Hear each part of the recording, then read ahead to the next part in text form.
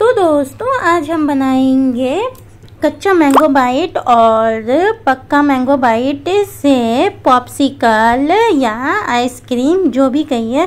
ये खाने में जो है, बहुत ही ज़्यादा टेस्टी लगती है और बनाना तो और भी ज़्यादा आसान है।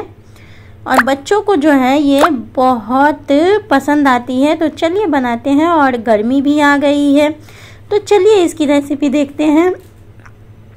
तो यहाँ जो है हमने दस रुपए का यहाँ पे हमने टॉफ़ी ले लिया है। तो यहाँ जो हमने पाँच रुपए का ये कच्चा मैंगो बाइट लिया है और पाँच रुपए का ये हमने पक्का मैंगो बाइट लिया है। तो अब जो है इसे हम रैपर से निकालेंगे।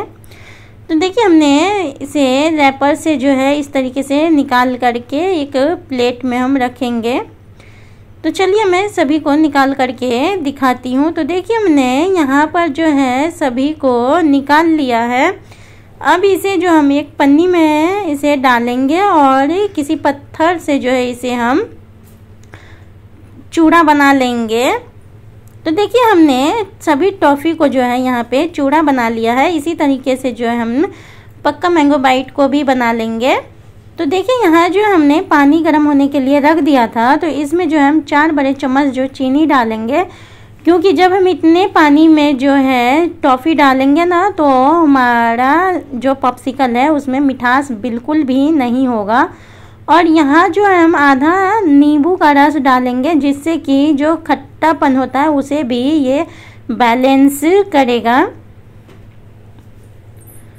तो देखिए, इस तरीके से जो हमने चीनी को मेल्ट कर लिया है। अब इसमें जो हम कच्चा मैंगो बाइट इसमें पानी में डालेंगे और इसे अच्छे से मेल्ट करेंगे। तो देखिए, हमने जैसे ही कच्चा मैंगो बाइट को पानी में डाला तो कितना अच्छा कलर आया है कच्चा मैंगो बाइट का।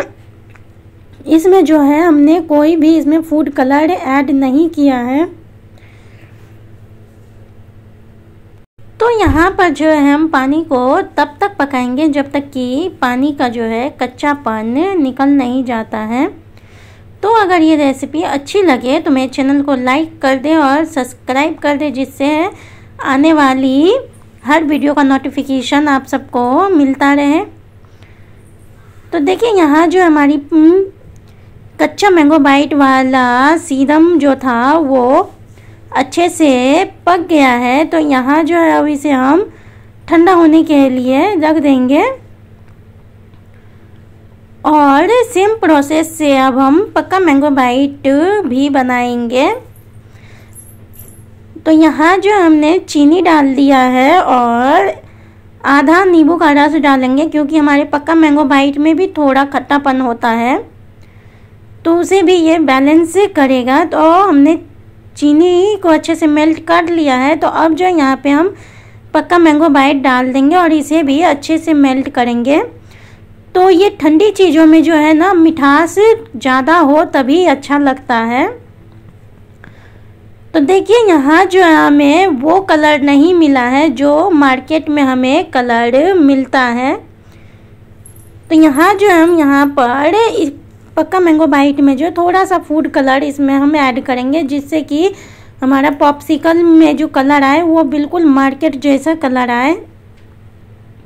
यहाँ पे हम कोई भी इसमें फ्लेवर नहीं डालेंगे, क्योंकि इसमें जो है, अपना खुद का एक फल फ्लेवर है आम का। तो हमारा सीरम जो है, वो तैयार हो गया है तो मैंने इस तरीके से जो है, गिलास ले लिया है। आप चाहें तो आइसक्रीम मोल्ड भी ले सकते हैं, अगर हो। तो मैं इसमें इस तरीके से सभी को डाल दूँगी। तो देखिए, हमने सभी को जो है, गिलास में सभी सीरम को डाल दिया है।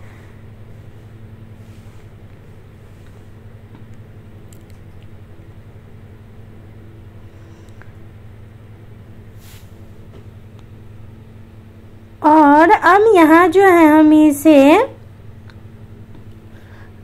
आपके पास यदि कॉयल पेपर है तो आप उससे इसे कवर कर सकते हैं। मेरे पास नहीं है तो मैं इस तरीके की पन्नी ले रही हूँ। और इससे मैं इसे कवर करके और इस पर हम रबर लगा देंगे।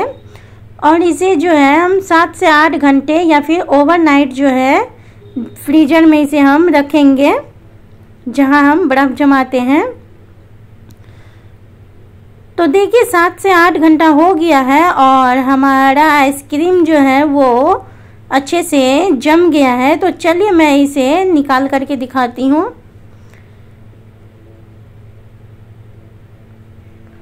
तो देखिए, मैंने इसे जो है निकाल लिया है और ये देखिए, देखने में कितना टेस्टी लग रहा है।